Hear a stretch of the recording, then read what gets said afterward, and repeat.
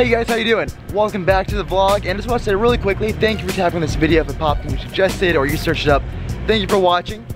So what I'm going to be talking about in today's vlog are the track apps. Now, originally they were introduced in uh, 2013 by the GT500, and they had a, a, few cool things. One of the biggest things, or one of the most uh, well-known apps it had was um, Drag Strip, or I think it was properly, or originally called um, Launch Control, but it had the little Christmas tree um, style, red, you know, red light, yellow light, green light that the drag strip has. So that was a cool feature it had and it kind of introduced from then on out a whole new array and different options and different things to play with with the Mustang with all the new track apps it has.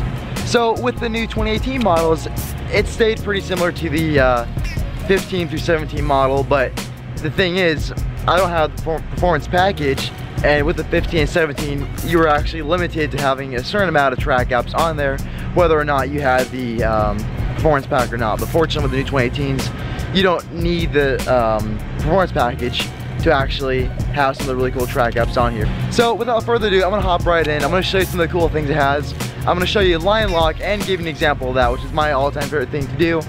It goes through gas, it looks cool, and it also burns away your tires, which are my favorite things to do. So upon entering the Mustang, right away you have your gauge, and on the screen you can actually see a few options they have. They have gauge mode, trip and fuel, track apps, driver assist, and settings. Now gauge mode, if you push this little button right here, this kind of lets you uh, navigate through the menu. We'll go up to gauge mode and click that. It actually has um, your miles per hour and kilometers. And now with the uh, 15 through 17, if you had a 15 17, you'd notice that we didn't actually have a digital speedometer. But fortunately with the new 2018s, now we do. So if we just now navigate on a track app, so I can kind of go into more detail here, we have status screen, accelerometer, acceleration timer, brake performance, and line lock. So status screen is actually one of the new features the new 2018s have, and if you tap it, it'll actually go from normal or sport. So if I change the um, driving mode from normal to sport, just like that, it will change. Once that screen goes away, I can show you. It's right there under sport. It's no longer normal and then we have sport mode. So that kind of just lets you know what mode you're driving in. And for the steering control, which is actually the little icon on the right hand side, it tells you what steering you have. So if I change the steering, we have normal, sport, and comfort. Now when you put your car into sport mode, it'll automatically change into sport steering. So for me, I don't typically keep it in status screen because it's not really that big of a deal for me. I know what mode I'm in, and I know what steering I, am in. So this feature is like a cool thing to have at, at your hands, at your fingertips. That way you can know what you're in, but typically with only two options, you don't really need to know which one you're in because you'll automatically know which one you're in. Now, accelerometer is actually one of my favorite ones here, and with my 15 to 17, or I had the 2016 Mustang EcoBoost, it actually had accelerometer. So if you tap that, it'll give you a display of um, how many G's you're feeling upon accelerating or deaccelerating or you're taking on a turn. And I do really like this feature. I'm really glad Ford put this in because a, a while ago when the GT3 was out, the GT3 RS, it had a uh, built-in accelerometer, showed all the G-force. So when I got my EcoBoost, I saw they had this and I was freaking out. I was a really big Porsche fan at the time and to have a feature that the uh, Porsche had, especially the GT3 uh, model, can't speak today, but having a feature that that had was really cool. I always kept it in there. And it's really fun when you're, you know, giving it gas, you just kind of know how much you feel. But on the uh, top and the bottom and the left and right hand side, you'll see little numbers like 0.0 or 0.89, 0.75. This actually, it locks in at um, the max G's you felt at a time.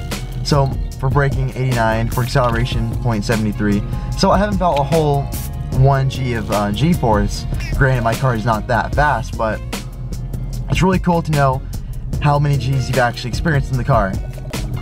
So the only thing I wouldn't recommend with the accelerometer is looking at it when you are accelerating. It could be a recipe for disaster and I kind of don't recommend that. So moving on, if you go down to acceleration timer, this actually records the fastest you've gone from 0 to 30, 0 to 60, or 0 to 100 miles per hour. And then if you go on the drag strip, you'll notice that there's it could also go into um, 1 8 and then a quarter mile. So for this one, let's say I want to go from 0 to 60 and record that. I'll scroll down and I'll tap 0 to 60. Automatic start, or we have countdown start. If you automatic, as soon as you press OK, it'll start timing, or it'll start recording how fast you're going. looking at countdown, we'll pick countdown.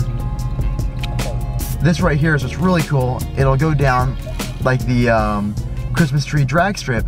And from here, it'll give you the green light.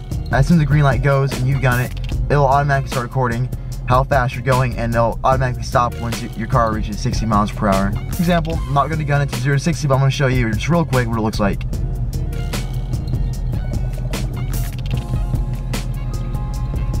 And just like that, you'd gun it all the way to 0 to 60 and you'll have your new record on your Mustang. So brake performance, this one could be pretty self-explanatory. Um, this will record your braking from 60 miles per hour to zero or 100 miles per hour to zero. If you select that one, we'll press OK to begin to give an example of what it'll do. And accelerate to 60 miles per hour. Upon reaching 60 miles per hour, you'll brake and it'll record how fast you come to stop. So it's kind of a cool feature. This one, um, recording your brake performance isn't a big thing to me, but I can understand if you want to take your car on the track or you want to really bring out the most in your Mustang, it'd be really cool to know exactly how quickly your Mustang can stop. So moving on, we have Line Lock. Now, Line Lock is probably the coolest feature that the new Mustang has, and a feature that can definitely be abused and um, lead to your tires having no tread. So, in order to show you this one, I need to be in drive. We'll put it down in drive, we'll select Line Lock, from here, you have to OK to initialize, and this one's a little more tricky, a little more things to do here. But here you have to engage the brake firmly to activate your brakes locking. So if you push it all the way in as tight as you can, it'll engage. You press OK to begin while still holding the brake, and you'll hear it lock. Upon doing this, you can give it gas and the tires will spin, which I'll show you shortly what it, what it can do. It's a really nice burnout, but we'll press OK to release the brake, your car will move forward because you know your foot's on the brake. So I'll go into a little more detail about what line lock does and how it works. As soon as you um, hold down the brake, what will happen is you're holding down all the brakes. The back ones will still be locked in. As soon as it initializes, the two front brakes will actually completely lock. So now you have your, your two front wheels completely locked in. The back brakes are completely loose, and as soon as you give it gas, they'll keep spinning. So this allows you to do a burnout in an easy way and a more quick and efficient way, but still getting the job done, and it looks really cool to do. This is a really cool thing to see because not everyone can do a burnout successfully or do it the right way that won't damage the car as far as the engine goes and the transmission. So line lock is a really cool thing. I'm really happy Ford did that. And just lets you really, you know, have that Mustang experience without having a whole bunch of experience with the cars like that with so much power because when you do burnouts, there's a chance of you spinning out, but no, you won't do it no more. You won't spin, you won't skid and you won't fishtail because the brakes are locked in the front. It's a really cool, safe way to do a burnout. So now I'm actually gonna hop inside and I picked a really good area to do a burnout and I'm gonna show you how line lock works. Well, I'm gonna show you what it can do. I already showed you how it works, talk about that, but now I'm gonna prop the camera up and I'll show you how exactly a 2018 Mustang can do a really cool burnout.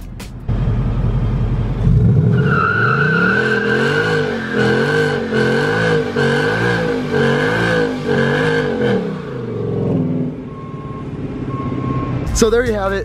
There's the burnout. There's the damage. That's insane. And you can smell all the all the rubber being burned. Try to the tires real quick.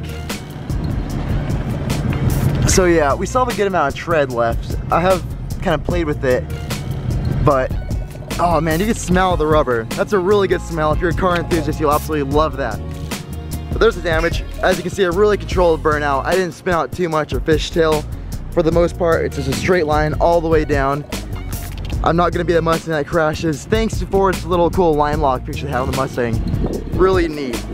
But anyways, gonna, the video was gonna be a short video today. I just want to go into a little more detail about the track apps and what the Mustang can do, especially line lock, as there's not many videos really showcasing what the Mustang can do once the line lock is turned on.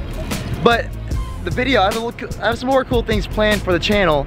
I'm actually going to be going to uh, Arizona. I also can't speak, by the way. But I'm going to Arizona and I'll be renting a little uh, Fiat 500 for my vacation. And while I'm there, I know it's a Fiat 500, it's not anything fancy, but I want to talk about Turo because that's what we'll be renting it with. And Turo's a really cool thing which you can rent your car or rent other people's cars on there while avoiding all the hassle of uh, rental cars. So my Turo, my Arizona trip's coming up and while I'm there I'll be going to California and cool other things there. But I'll be renting from Turo and I kind of wanted to talk about is renting from Turo a, a safe way to rent a car and basically the whole entire process about it, how easy is it, is it safe, is it secure, I'll go into more detail there. And when I come back, I have another Fiat thing planned, but with an Abarth.